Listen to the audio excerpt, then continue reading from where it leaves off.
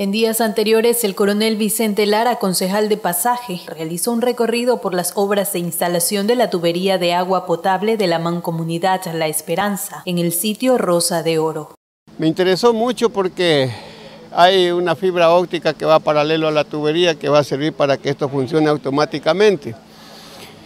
Es decir, si algo se daña o se tapa, pues la, la fibra va a avisar en este lado está dañado referente a las comunidades que se encuentran a lo largo del acueducto regional. Son algunas las derivaciones con las que se cumplirían para que estos sitios no se queden sin el servicio de agua mientras se mantiene en marcha la colocación de las tuberías.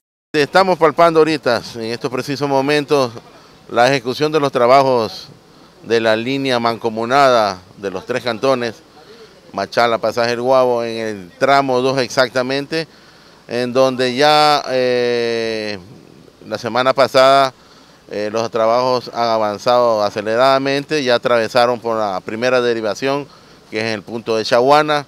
Hoy, donde estamos en estos momentos, estamos en el sitio Rosa de Oro, donde existe otra derivación. Y hemos esto también paralelamente socializado el tema en que las derivaciones se van a mantener de acuerdo al funcionamiento como se lo ha tenido en estos momentos. Esto quiere decir que las derivaciones tendrán y cumplirán la función para el cual fue el propósito y el objeto de, este proyecto, dar servicio a toda la comunidad que esté dentro de la, de la región que va a prestar servicio este proyecto. A lo largo de este acueducto, en el tramo 2 que estamos eh, observando los trabajos, aparte de Chaguana, Rosa de Oro que estamos hoy aquí, están eh, el, el la derivación de Progreso y otra derivación de, caña quemada en, aproximadamente por la hacienda Celia María, eh, donde surge esta derivación. Eh, son un total de cuatro derivaciones que se van a mantener, como lo dije anteriormente, obviamente para prestar función y servicio a toda esta comunidad. De ahí que para el proceso de instalación de la tubería se realiza un estudio previo respecto a la norma, dice el superintendente del consorcio La Esperanza. Las normas dicen que la instalación de la tubería por sobre el lomo debe estar cubierta con materiales 1.20. Tenemos nosotros en el trayecto entre 2.30, 2.50, 3 y 4 metros por hora.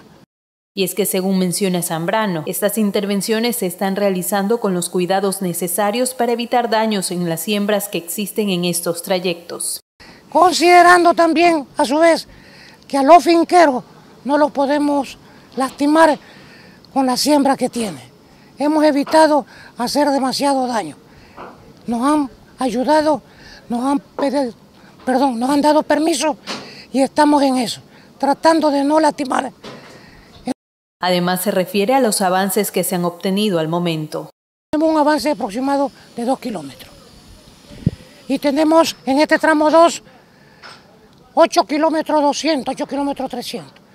Tenemos después el tramo 1, que son 7, un poquito más, entre 7,400, 7,500.